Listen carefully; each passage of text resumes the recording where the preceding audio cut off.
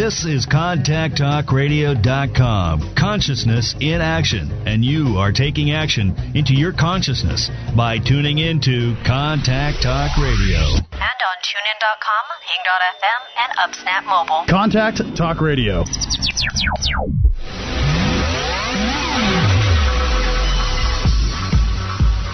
Welcome to Carpe Diem with your host, Lisa McDonald. My mama told me when I was young, we're all on superstars. She rolled her hair with my lipstick on. Good morning, everybody. Thank you very much for tuning in once again. My name is Lisa McDonald, and I am your show host for Carpe Diem.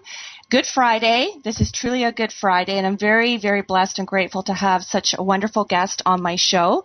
Which, before I introduce and turn over to my guest uh, to have the floor here, I certainly need to extend uh, thank yous to Pavel Mikulowski. Um, it was through him and his reaching out to me uh, that he suggested this guest to me. Uh, we share mutual friends on Facebook, uh, primarily people associated with the radio network in which I'm talking from, CTR, Media Broadcasting. Uh, so I want to say thank you very much to Pavel for setting this up for me. This is wonderful uh, and really timely that this show and, and this particular guest is uh, with us here on Good Friday. So happy Easter to everybody. I hope it's a wonderful weekend for everyone.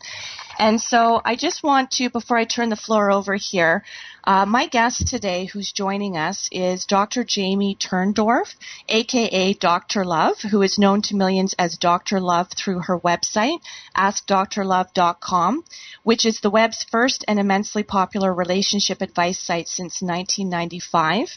Um, as people know, I don't really like to read, but I'm reading uh, a little bit of information about Dr. Love just to get the information correct and to plug her properly before I turn it over. So her methods have been featured on all the national networks, including CNN, NBC, CBS, VH1, Fox, on websites like WebMD, iVillage, Discovery.com, MSNBC.com, and in Cosmopolitan Men's Health, Glamour, American Woman, Modern Bride, and Mary Claire, to name only a few. Dr. Love also wrote a column called We Can Work It Out for Psychology Today online. Uh, Dr. Love's radio show, she's both an author and a radio show host. So Dr. Love's radio show can be heard in Seattle on KKNW and on Talk Zone, which broadcasts in 80 countries worldwide. Dr. Love is also author of the new Hay House book, Kiss Your Fights Goodbye.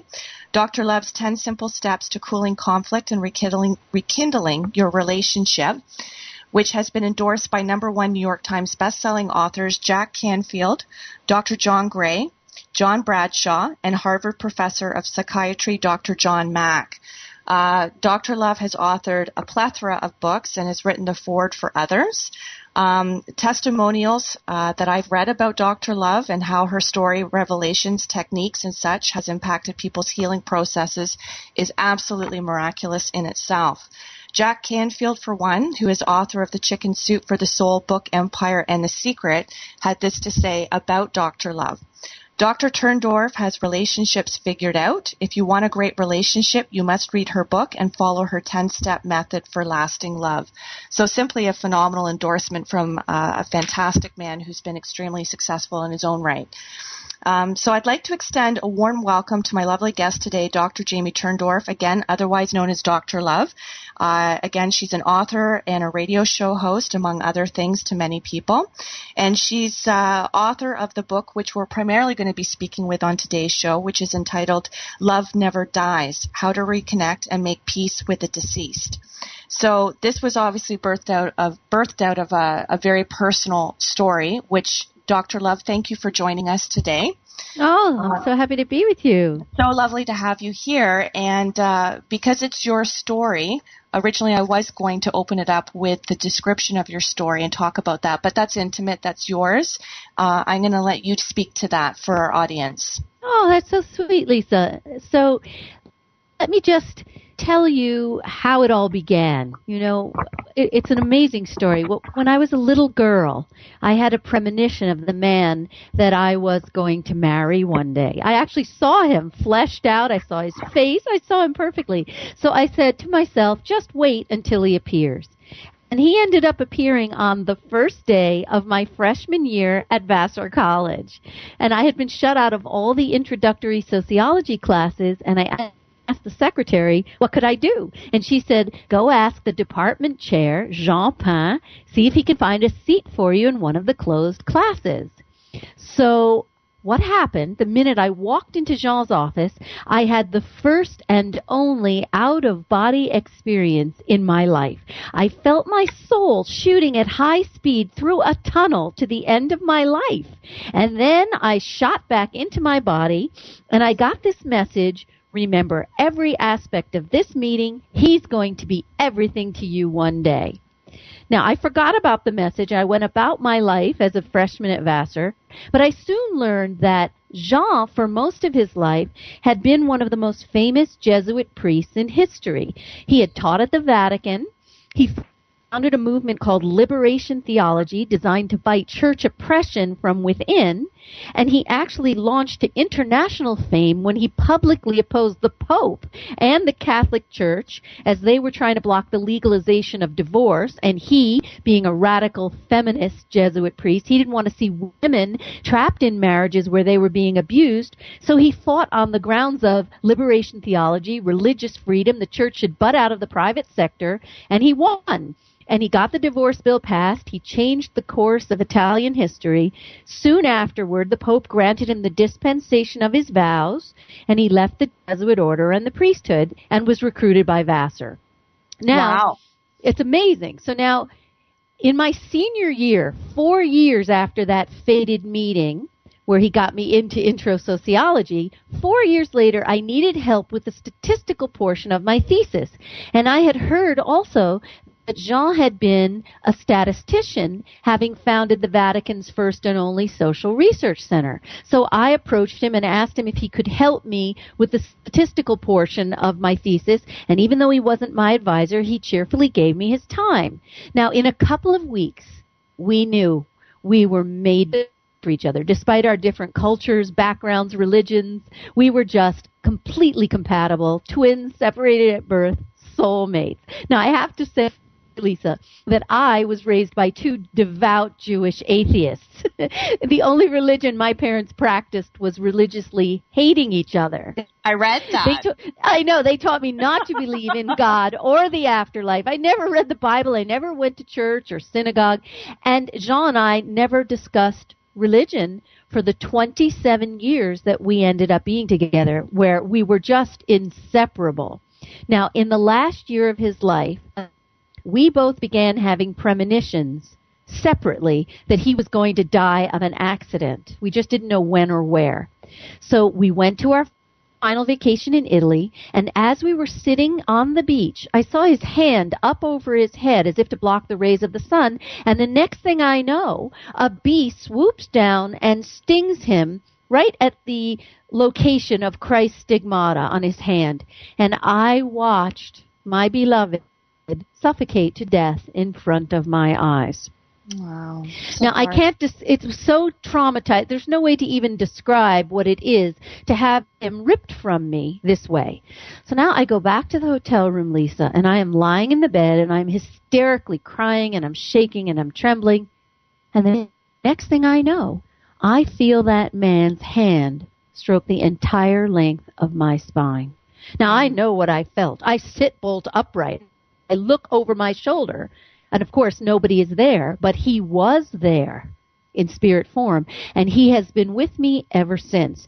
Now, his astonishing and ongoing manifestations, often in front of witnesses to this day, have proven to me that we don't die, and therefore our relationships aren't meant to end in death. And so I've created a groundbreaking new transdimensional grief therapy method that totally diverges from the Western approach, which is grieve, let go, and move on, which only leaves the bereaved at an even greater loss. Instead, my method shows you how to say hello not goodbye without the assistance of a medium, a channeler, or a psychic. And then there's one more thing. As a shrink, I know millions of people worldwide harbor unfinished business with the dead. And again, Western grief therapy also offers us no way of making peace with the deceased. So my new dialoguing with the departed technique offers the first vehicle in history for enabling the bereaved to not only reconnect, but also to make peace with the deceased. Fantastic. You, what I'd really appreciate you touching upon, which I actually got goosebumps when I was researching uh, your story and uh, the testimonials and, and how this has uh, tran- Tra- it's it's just transformed people's lives, their healing mm-hmm. processes. Um, could you kindly tell us a little bit about the when you talk about the witnesses and this coming through for other people? Can you tell mm-hmm. us about the incident involving your friend Anne as well as Gabe? All right, I'm going to let me just I'll lead you up to that example because okay. you know Love Love Never Dies is in three parts. So obviously part 1 is my memoir where I pick up from the night that Jean left his body. So let me tell you a few examples of Jean's astonish, astonishing manifestations that I share in part 1 of Love Never Dies and then I'll lead up to Anne and Gabe. I'll I'll finish with it. How's that? Perfect. Okay. So I come back from Italy and I, of course, hadn't slept the whole night. And I get out of bed and I hear Jean saying to me as I enter the kitchen, Jamie, open the back door. I want to show you something. So I open the door. And what I see, Lisa, on the back step is a chipmunk. And the chipmunk is sitting there frozen as if in a trance. The chipmunk does not run away. He's just frozen in, with a glazed expression. Now, the next thing I see, that chipmunk begins mimicking my husband's bodily death. I watched the little creature ripping at his little face with his hand, ripping and ripping and ripping the way my husband was ripping at the oxygen mask to try to get it off of his face because he was suffocating and it wasn't going in. The air wasn't going in. So, of course, tears are raining down my cheeks as I watch this little creature mimicking his bodily death. And after 20 minutes of this, I see this little creature visibly cough up a wonk of mucus, and he's fine. And in that moment, I knew my husband was using this animal to convey to me the message, I'm okay okay, Jamie, I'm okay. And I have since coined the expression open vessels to describe animals, domestic and wild, who are able to communicate messages to us from spirit. So now, the next thing that happened is I had to fax Jean's death certificate to my phone company to take his name off of the account. Now, I had sent many multi page faxes throughout the day, no problem. But when I went to fax his death certificate, the cover letter faxed without a hitch, but then the machine froze and would not fax his death certificate. I tried again with the obituary. Again, cover letter goes through, but the obit hangs up, will not fax. So the next day, I mean, I tried this 20, 30 times. It doesn't work. I give up. The next day, I go to the lawyer's office. I don't say why. I just hand the secretary the pile of papers and I say, Would you mind faxing this to Verizon for me?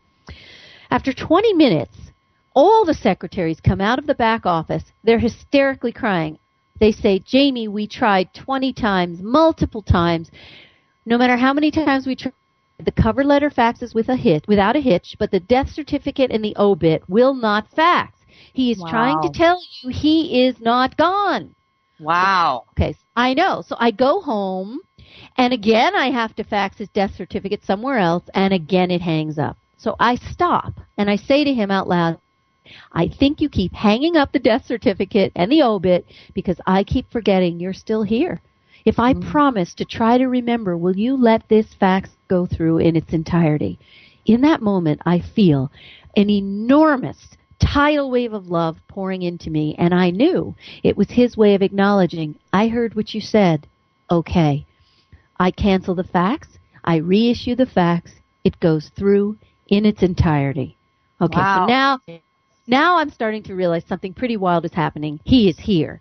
Mm-hmm. So now I'm walking down the street, and day after day, people who don't know me, didn't know Jean, don't know I'm widowed, they just walk up to me and say, Your husband says, tell our story. And then they walk on. so now I, I, I'm just like, my life has just completely turned upside down. Now, one day I'm driving in the car And I, for the first time in my life, feel the need to pray to him on behalf of someone else. Now, I never prayed in my life. So I pray to him, please help my friend Emily find love. I look at the clock in my car. It's 4:58 and in that moment I feel a tidal wave of love, which is what made me look at the clock to note the time. Now I have to say, Jean never knew Emily, never saw her, nor did she know Jean. She had never seen his picture. That night, Emily phones me. She says, Jamie, I have to tell you what happened. I said, well, what happened? She said, today at 4.58 exactly, I fell into a trance. Your husband appeared to me. She describes to me what he looks like. It's exactly right. She says he told me to find love, follow the gray stones to the church in your neighborhood. Now, by having her repeat my prayer to him, he was proving to me he heard my prayer. You see? My goodness. And he was also blessing Emily by sending her to the church. Now, a week later, I go to my professional group, and there's a member of the group. Emily's a member as well. She tells the story about what happened, and then a member of the group named Mitch Wood, who was a former seminarian, says to Emily, What was the name of the church in your neighborhood? And now she says, It's called the Claremont Church. And Mitch says, Oh my gosh, the Claremont Church is New York's only liberation theology seminary. Wow. Remember, I mean, that blows your mind how he put his stamp on this entire, entire magical manifestation. Okay, so now I'm going to tell you about the phone call you asked me to mention Yes. with Anne. And it's a whole, like a whole intricate, intricate tapestry here of manifestations that I'm going to share. One day I was lying in the closet and I was crying. I described this in Love Never Dies. And I was thinking, I have to call my friend Anne. And then I'm thinking, but it's the middle of her workday. No, you can't bother her, but I've got to talk to her. And I'm there on the closet floor crying, thinking this, when my phone rings after about a half hour of this. I drag myself out of the closet and I go to the phone. It's Anne. She says to me, Jamie, did you just call me? And I said, no, Anne, I was too busy crying, but I told her I was thinking I had to call you. She says, but Jamie, my phone rang and your name and number appeared on the caller ID. so we realized Shaw was so aware of what I needed, he called her mm-hmm. for me, manipulating the electronics to put my name and number on the caller ID. Now, a year later, I have a very bad chest cough. I cannot breathe. And I start to think I'm going to suffocate to death the way Jean did. So out loud, I plead with Jean, could you do that caller ID phone trick again right now to prove you're here with me? Could you do this? Do it with my housekeeper, Donna, right now. Okay? The next thing I know, my phone rings. It's Donna. She says to me, Jamie, did you just call me? I said, no, Donna. But then I told her how I asked Jean to please do the caller ID. so she says, Jamie, that my phone rang and your name and number just appeared, appeared on my caller ID. So now I go to my writers group and I'm telling all the stories of Jean's manifestations in part one of Love Never Dies. And Gabe Davis, a devout Jewish atheist who's the head of the writers group, says, you know, I sure would like to see that caller ID phone trick repeated. And this time, I would like to see whether J- your phone shows a record of having been manipulated by Jean to dial out. Okay? So now mm-hmm. I forgot the whole challenge. Forgot it. A month later, I am driving behind Gabe and his wife. We're set to go to dinner after the writers group meeting. And all of a sudden, as I'm driving, I feel that tidal wave of love again. And I look at the clock, and it's 4:58. I get out of my car when we arrive at the restaurant, and Gabe runs up to me. He says, "Jamie, you will not believe what happened." What happened, Gabe? He says, "At 4:58, my cell phone rang." He said, "I looked at the caller ID. Your name and number was on the display." Oh, my he says, I picked up the phone and a man's voice said, Is Jamie there? Is Jamie there? He said the voice extended the word there, like it had an accent, which Jean was French, and he did extend that word. It sounded like there, it extended. He said it wasn't a real call. The voice just faded off. The call never clicked off. He says, go get your phone and see if it dialed me at 458. So I dig into the bottom of my purse. I hadn't used the phone all day I pull it out. Sure enough, it had dialed him at 458. Oh my So- goodness. What is the point of all these over the top manifestations? It's because Jean asked me to tell our story. So these manifestations are for you and for everybody listening. Because as he told me after he left his body, Jamie, let our love shine like a torch that lights the path for others. So our story is meant to let you know that your loved ones are here with you too. They're just waiting for you to open the door of your heart to them. Beautiful. Absolutely beautiful. Let me just ask you, uh, Jamie, now outside of when you talk about the tapestry and things having happened and occurred at 458, I does, know. four- does 458 signify the timing in which uh, your late husband passed? Oh, well then again, you know what? Now that you mention it, I did I you know, I hadn't figured what the hour meant. And I don't I don't he he left his body in the evening, you know, like at 11. But um he was stung. Perhaps I have to look back and think maybe that's when he was stung. You know? I have to look because there is a reason that it keeps happening at that hour. Yeah, for, there, there has to be a reason why Yeah, yeah, yeah, yeah, yeah. I'm going to look at that because I think that he we were in we were at the beach and it was the afternoon. So perhaps that's what happened and I'm going to check that out and thank you for uh, helping me to uh, pay attention to that. Yeah. Hmm? Well, um, so so tell me how else this has resonated for you, and by you sharing yours and your love story, and the fact that love never dies. What are you hearing from other people? Uh, because Oh my you- goodness. Oh my goodness. It's just, you know, I did the coast to coast interview and my book, Love Never Dies, became an overnight bestseller. It sold out on Amazon. By the next morning, it was sold out. And I'm getting calls from people and emails from all over the world. It's just changing their lives because, well, it kind of comes to part two. Part two of Love Never Dies, I talk about how you can overcome the false beliefs and the religious teachings that prevent so many people from reconnecting. And I talk about how it's even possible to communicate with those in spirit. So our story is opening the door for other people to realize that their loved ones are here too and that they are meant to reconnect as well. So could I talk a little bit about the obstacles that I would love, love to. I'd love to hear yeah. this. Okay, so the first obstacle that we have to overcome is the wrong belief that we're not supposed to stay in connection with loved ones in spirit. Now, how did I know that this is even a belief that people are taught, that you shouldn't stay in connection?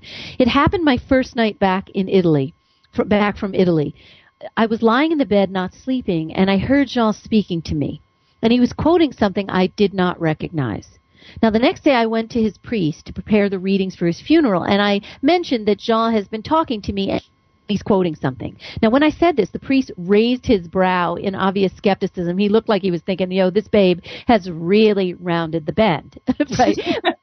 then, then when I told him what Jean was saying, he literally blanched. He crossed himself, and then he said, Dear God, Jamie, at first, I didn't believe that John was talking to you, but I do now. And he told me that I was quoting an obscure biblical passage from the Communion of Saints. Like I knew.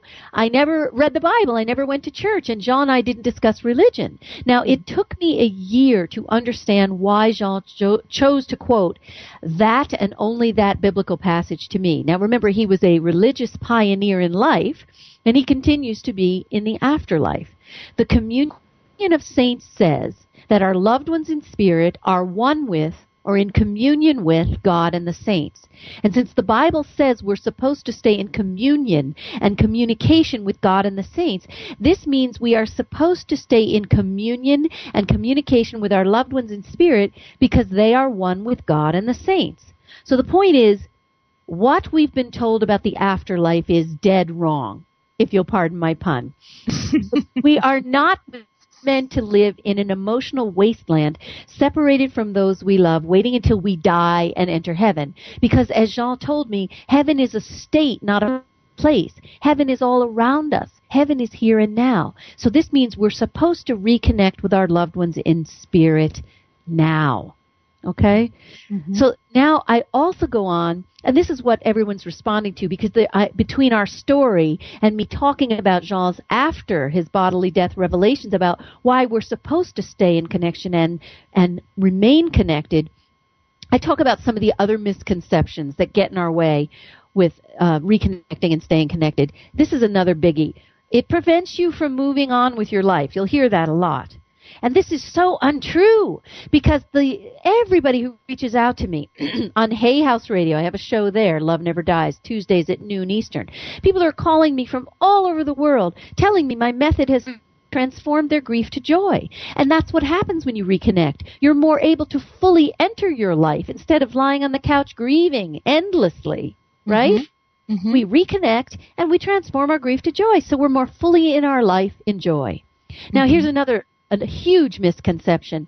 Well, if you reconnect with a deceased spouse or life partner, you can't love anybody else. Where did we ever get that idea? Because it would be like saying to a mother, you know, you had one child, you love that child with all your heart. Well, you can't have any more children, can you? Well, mm-hmm. our hearts are made to love. We have Absolutely. plenty, plenty of room to love everybody who walks the earth and all those who walk in spirit. Now, here's another one that I hear a lot. Well, you're holding them back from performing their work in heaven. Well, I mean, how grandiose of us to assume that we could somehow interfere with some divine plan. the thing Exactly. is, e- everything I hear from every being in spirit, including including Jean, is their work is to love us. That's mm-hmm. all they're, that they are in spirit to be our guides, to hold our hands, to support us as we walk down the bumpy road called life, to help us fulfill our own spiritual development and our destinies. What else is there for me to do? It's my full-time occupation to love you. That's what Jean said. Mm-hmm. So- and that's what I hear again and again from my patients, loved ones in spirit. They have nothing else to do but to be here to love you and support you. Now, here's another biggie. Oh, you're opening the door to evil or maybe even the devil. Well, now I have never experienced any evil or dark forces or anything uh, because our loved ones in spirit are our gatekeepers.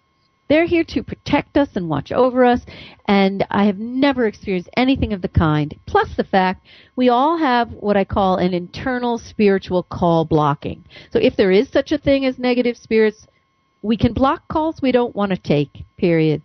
Mm-hmm.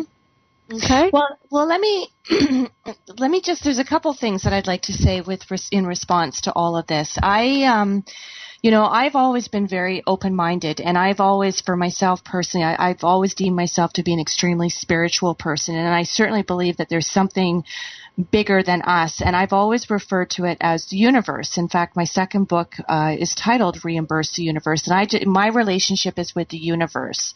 Um, and you know, and I know that that can be extrapolated and carried over all various forms or interpretations or belief systems within religious sectors, within uh, spiritual spheres.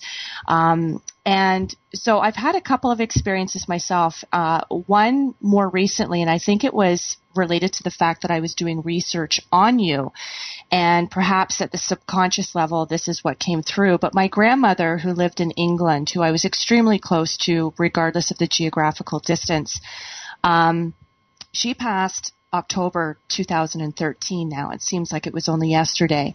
Uh, very extremely close to her. And in fact, Easter was, uh, you know, I just put up a post on Facebook the other day saying that Easter is very synonymous for me with my grandma. Um, she, you know, just, just how we always dialogued, how we communicated. Um, certainly miss her snail mail, miss her holiday phone calls. But anyway, a couple nights ago, um, for the first time since her passing, uh, she came through in a dream for me, and it was very vivid, and uh, it was brief.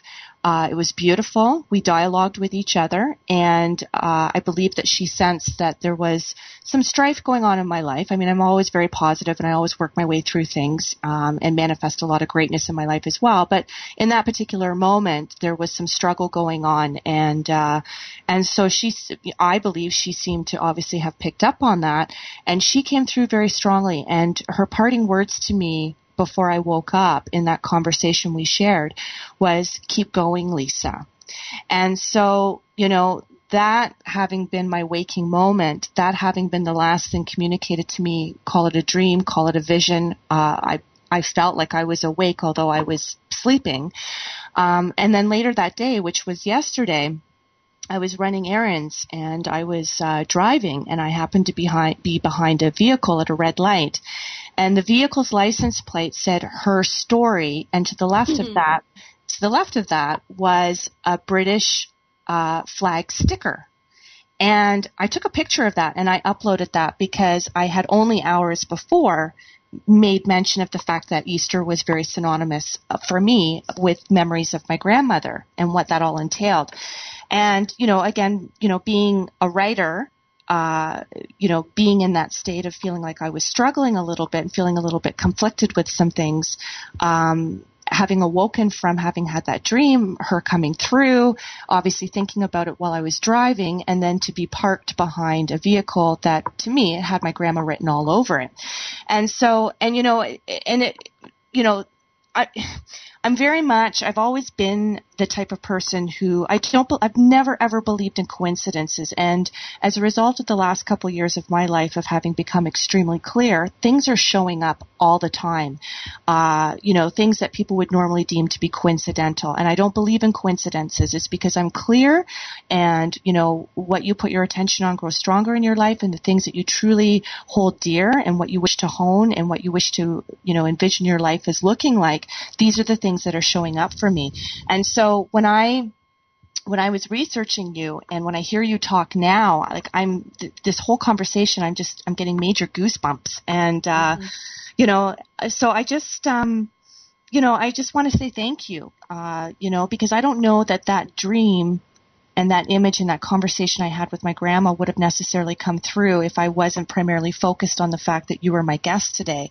And, and so, and her story, her and story. her story, absolutely. Tell her story, right? Yeah, right, and right. here right. I am talking about it. I'm talking. I must her. say that most of the guests, most of the hosts that have told me Jean has come through to them in one way or another. And when I do most of my interviews, he plays with the electronics uh, when I did a Skype interview a couple days ago, the announcer said that he heard uh, a man's voice speaking after I would speak.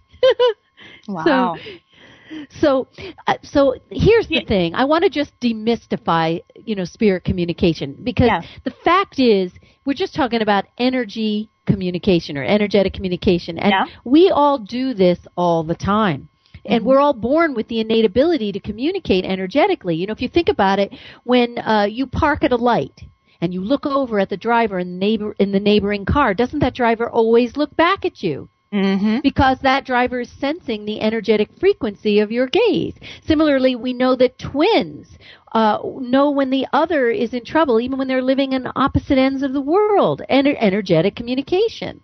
And what's amazing is now when I did research for the book, I discovered that Many of the most prominent figures in history, from Socrates to Helen Keller, reported having personal contact with spirits. Even Thomas Edison said in Scientific American in 1931 uh, that it was reasonable to conclude that those who have left the earth would like to communicate with those they've left here. And he believed that we could construct an apparatus that would be sensitive enough to uh, enable the communication. And he was actually working on this in 31, right when he left his body. And Albert Einstein, in his introduction to Upton Sinclair's book on telepathy, Mental Radio, asked science to take this phenomenon seriously. Sigmund Freud said in 1921, if I had my life to live over again, I should devote myself to psychical research rather than psychoanalysis. And Car- Carl Jung, the Swiss psychotherapist and the founder of analytic psychology, wrote a lot about this topic. But the thing is, we have never heard about this and it we don't hear because they didn't teach us in our school books. We were told that it's not possible to connect so nobody focuses on it. And here's a story that illustrates the point of just how pervasive it is that mainstream religion tells us it's not possible to connect. So i went back to jean's priest and i told him about jean's ongoing manifestations. And the priest said to me you know, Jamie, once he's in heaven, you won't hear from him anymore. What? There are no cell towers in heaven? Or the signals from Earth aren't strong enough to reach the cell? I mean, it's ridiculous, these human Right. con- misconceptions. So the whole day, it was bothering me what he said. The whole day, it's on my mind. Now the evening comes and I make the circle in my group room for my office. I work in my house and everybody is late to the group except my new patient Ashley who's coming for the first time. She doesn't know me, didn't know Jean obviously. And the doors closed to the group room. We're alone. Next thing I hear ding ding, which is the sound my front door makes when the burglar alarm chimes to alert me to the front door opening. Next thing I know, I hear loud pounding footsteps that stop in the waiting room adjacent to the group room. And I say to her, gee, somebody must have come in at the wrong time, not realizing I run a group now. Perhaps somebody coming for an individual session. Now I hear the loud pounding footsteps going in the opposite direction as if the person is leaving, and I hear the front door chime again. So I say to her, listen, I'm going to go talk to the person. Now, in the time it took me to get to the front door, there was no way that somebody could have walked down my very long driveway and gotten in his car and driven away because my driveway is so long and the parking area is very far from the house. I go to the front door, I open the door, there is nobody there. Nobody, no car, nobody. So I come back to the group room and I say there was nobody there. And my patient Ashley says it was a spirit. so that was Jean's answer to the priest's statement once I'm in heaven, you won't hear from me anymore. Did you hear those footsteps? Lovely stories. Well, let me ask you this then, because there's a lot of people, um, like-minded people who are in my circle, and of course, you get to this age, and you know, people have passed on, parents, siblings, whatnot, and you know, I, I have one friend in particular. Uh, her name is Donna, and her mom passed away, and so the symbol that reminds her that her mom is present and with her and offering her strength is dimes. So she sees dimes everywhere, and usually at the time where she's feeling the most vulnerable, emotional, or, you know, missing her mother. And so, for do, do you attribute, um, like, do you believe that there's different levels of the manifestation coming through? Um, like, do you believe that uh, perhaps you and your late husband, because of the synchronicities in which you shared, uh, because of you know how glued to the hip you were and how involved you were in each other, uh, and what you believed in and what you've manifested when he was with you, present, living on you know here in this sphere. Do you think it's it's because of the, the, the depth and the width of your relationship that all of There- that that is love is the currency of connection. So the more bonded you are, right? the more easy it is for you to continue that bond. That mm-hmm. said, it's very important for everybody listening to know that even if you didn't have a perfect bond, that does not matter because in part three of Love Never Dies, I show you how to establish your own connection with loved ones in spirit. You don't need a medium, a channeler, or a psychic because we are all born with the innate ability to communicate. And communicating with a spirit is nothing more than learning how to tune your brain to the spirit channel. So basically, in part three of Love Never Dies, I show you how to make the reconnection. And I teach you in part one, uh, the first chapter of part three, how to create a state of receptivity. Because this is very important. A lot of us just are drowned by the noise and the chatter of the day. And as Jean said to me, the noise of the day drowns me out. So anytime you want to hear me, come to the bed and be still and quiet. So in this chapter, I show you how to create pockets of peace. I show you how to sit in silence, turn off the TV and the music, how to use the right peaceful, peaceful practice for yourself. And then I show you how to use your breath because spirit is born on the breath. I also have a section in this chapter on how to surrender to your emotional states but not get too upset. Because if we're too upset, especially in the early days of grief, we actually block the sending and the receiving of energetic signals. Then I show you how to use twilight states, which is the state just before sleeping or just upon awakening, how to nudge your way into spirit communication, how to use nature to help you connect. And then the chapter ends with really fun exercises for opening your five senses. Because remember, spirit beings are pure energy, so they're able to energetically send signals to all of your senses. And the more your sensory receiver is turned on, the easier it is for you to perceive signs that are being sent your way all the time. Now, in regarding signs, this is the next chapter in part three of Love Never Dies, how to recognize the signs. Because most people will say to me, listen, you and Jean had an intense connection, as you said, Lisa, and I d- didn't, I'm not getting signs like this. Now, invariably, I will lay out the signs of spirit presence, and in no time, everybody says to me, oh, that happened to me, and so did this, and so did that. So the point is, freed from the human vessel, our loved ones in spirit are able to influence the material world in infinite ways. Signs include, you know, animals behaving oddly, like the chipmunk story, odd sensations, drafts, temperature changes, chills, goose flesh, symbolic communications, butterflies, and even the manifestation of coins that were minted on a year that was significant. Now, here's my coin story. I had a patient in my office this year named Kyla, and I said to her, you know, Jean's always dropping coins on me that were minted on the anniversary year of his bodily departure. So when I said that, Kyla blinked. She says, oh my goodness, Jamie, I nearly forgot. See the boots I'm wearing now, these cowboy boots? Well, they were off my feet in the middle of my bedroom when I saw a quarter careening from the ceiling out of nowhere and landing in my boot. And I got the message that it was for you, and I never took it out. She says, let me give it to you now. As she turns her boot upside down, I hear Jean saying to me, You'll see it was minted on the year I left my body. Sure enough, I take a look at the coin. It was. So Wow. For most people, becoming aware of the signs is sufficient to begin their own process of reconnecting. But here's where Love Never Dies takes spirit communication to an entirely new place. Uh, the CEO of Hay House said to me, We've never seen anything like what you're doing in Love Never Dies because I show you how you can dialogue back and forth with the departed. This is my new technique, dialoguing with the departed, to reconnect, to obtain guidance, and most especially to heal any unfinished business you may have. Now, we, we know that spirits dialogue with us in various ways, like through dreams, as you said, through Mhm. mind melding, where they induce a thought in our mind. They also communicate with us using signs, where they actually, you know, drop a sign on us, like the coin. Now, Mhm. but we can actually engage in a back and forth communication between us and spirit using these earthly props, which are, you know, usually electronic devices, or using open vessels. Now, can I give you an example of the difference between static signs versus a back and forth communication using the earthly props? Please do, yes. Okay. So this year on the anniversary week of Jean's bodily departure, I went to my chiropractor and Teresa was at the reception desk. She was the secretary and there was nobody else in the office. We were alone. So I tell her about Love Never Dies and I say I'm going to give my first public uh, talk about the book. As soon as I say that to her, I smell gardenias. Now I did not say a word and Teresa says to me, Jamie, do you smell gardenias?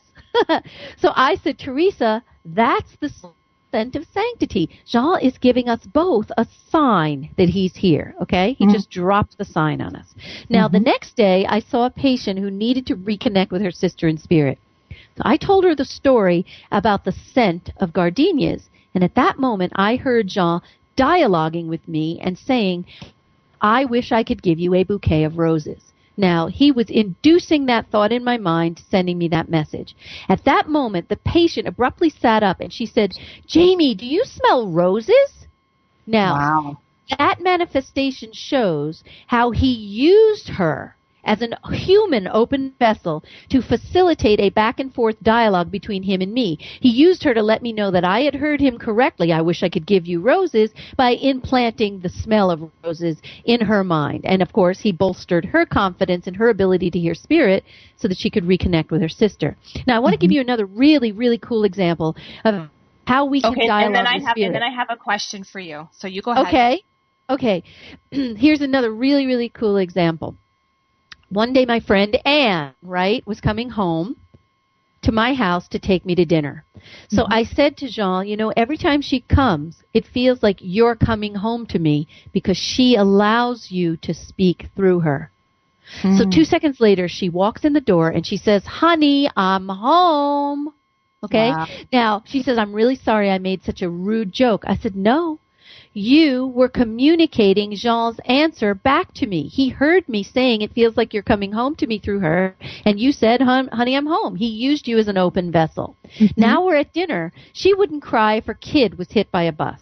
Next thing I know, she gets this glazed expression in her face like the chipmunk. And now she starts to cry. And she says to me, You look so beautiful tonight. I wish I had a camera. Now. Jean used to say that to me when we were alone at a restaurant. Nobody heard that but me and him. So he was using her to dialogue with me. She was the open vessel used in the service of love. Mm-hmm. So you mm-hmm. said you had a question. Yeah, beautiful. I'm loving everything that you're sharing. Thank you. Mm-hmm. Um, so my question, and perhaps this is something that's been asked of you before. So for the person who's still here alive, let's say that the person is more evolved and self-aware and more receptive than the individual who passed over. And let's say the individual who's still here is very receptive to wanting to dialogue, to want to communicate, to be able to interpret signs and is very open to it. If the person who passed over was blocked, was negative, uh, was unresolved, was conflicted, and let's say that you know, hindered the relationship between the two parties. For the person who's still here, who's receptive and would like to uh, perhaps, you know, experience some of what you're sharing, probably not on the same degree because of how solid and how in tune you and your husband were. Um, how do you answer those questions, or how, do, how does that become okay. possible? Okay, so here what we're talking about is part three of Love Never Dies and how to use my dialoguing with the departed technique to resolve unfinished business. Okay. Now, mm-hmm. it does. It, the point being, as one of my patients said, I wish my mother would hurry up and die so we could finally work this out. Because in spirit form, they are more evolved. So whatever unfinished business you had, you now have an opportunity to resolve it. So what I show you how to do is I show you how to dialogue to heal this unfinished business. Now, you may still harbor resentment toward that being in spirit. That being in spirit may have something unfinished with you. Whatever it is, I show you how to enter a trance.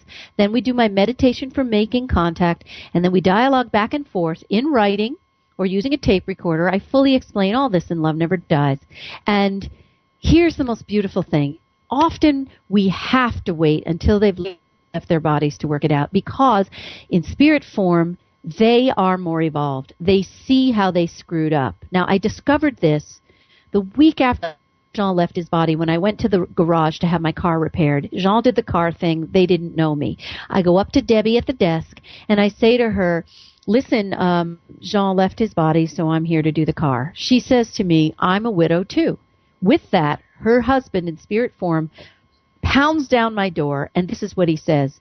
Tell her to stop making the same mistake that I did with our son because now she's creating the same power struggle. Now, mm-hmm. this blew my mind, right? I tell her this and she says, Oh my gosh, it's true. But the important part of this experience was he realized the mistakes he made only and once he entered spirit. So now that was remarkable. But then what I discovered soon after that was that beings, beings in spirit need our help to help them evolve spiritually. So if we are more evolved, if we have unfinished business, none of it matters. We, not only do we need to heal, and we are poised to heal things with them now that they're in spirit because they are hungry to not only help us work it out, but they need to work it out to evolve spiritually. Now, how do I know this? I went to see a woman I call the Bird Lady. Her name was Lori. She had tried to help us save our little canary unsuccessfully. So it's, oh my goodness, Good Friday. It was this day. oh, wow. And Jean let, he led me to the lady. Now I walk in the door and as soon as I walk in, she points out a Gouldian finch in a cage that's looking very bad, all plumped up and not moving. She says that bird hasn't eaten in two days and when they're this little, if they don't eat, they die. So I said to her, Can I try to help your bird? She says, Okay. I go over to the cage, press my cheek against the bars. Normally that would have freaked a bird. This did not freak the bird. Now I speak out loud. I am energetically communicating with the bird, but I'm speaking out loud so that she will hear what I say. I tell her, bird, go down to the seed bowl and I want you to start eating your seeds right now. The bird obeys, goes down, starts scarfing up seeds like a little mini vacuum, vacuum, and the more the bird eats, the healthier it gets. And it's chirping and jumping around. And now I realize there are two spirit presences in the room. First I hear her mother. Now I don't know this woman. I don't know who's in spirit, who's in not, but not in spirit. Her mother says, I'm so sorry I didn't protect you from him. I am so sorry. And then I see the bird. Well, the woman, Lori, says that's true. And the mother says, I was a weakling. And the mother, and Lori says, my mom always said I was a weakling. So now I see the bird looking sick again. And I realize that the presence of this woman's father is around the bird and making the bird sick. So I say, don't worry about this. Go back to eating. I'm going to help her. The father comes through and he says, I know you're scared to death of me, but I can't hurt you anymore. I can't rape you anymore. I need you to face me and confront me about how I violated you. I want you to be in peace and to heal, and I need to be confronted over what I did for my own progression. So she admits, yes, he did rape her. We dialogue, and she goes on to heal her fear because she was perpetually stuck in the wounded, abused child place, and she was helping him grow. So this is what the dialoguing with the Wow. Department of Technique will do for you. No matter where you start out, you will be able to heal unfinished business, pick up where you left off, improve your relationship. But this is the thing, Lisa, I'm so excited about this piece. And this is the neatest part of all. We all know our purpose on earth is to perfect our ability to love ourselves and others. But we can't love ourselves if we, we can't love others if we don't love ourselves, right? Very Now, true. I'm living, I am so living p- proof of the challenge. How do you love yourself when you were raised in a crazy family? Because I tell in Love Never Dies, I was beaten physically and verbally, and I struggled with my parents' mean voices putting me down in my head. And in spite of all my husband's love for me, it didn't quiet those voices. Mm-hmm. Now, after he left his body, I was in my professional group and I was saying, I just can't get these voices that are tearing me down to go away. So everybody in the group, all the professional shrinks said, yell louder, shut them down with our, it didn't work.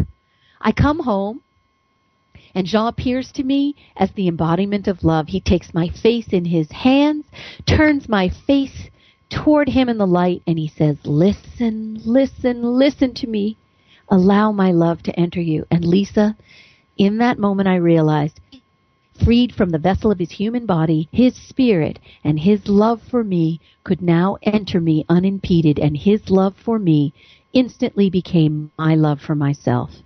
And so this is the way we can fast track our self-love by connecting with our loved ones in spirit. Their love for you now becomes an overwhelming flow of love for yourself that you are now free to share with the world. All that love is spilling over.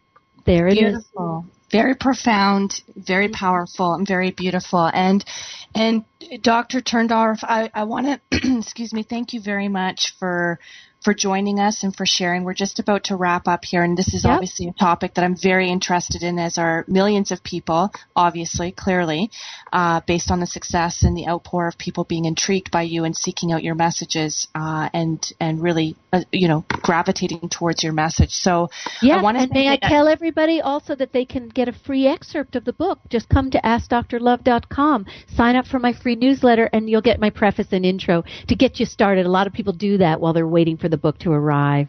Wonderful, and um, and I would love to hear back from you with regards to the significance of 458 because I'd like to Yes. think with all with all that we're talking about and and how often with whom you're talking about, uh, you know, your, the presence and the spirit of your husband having come through.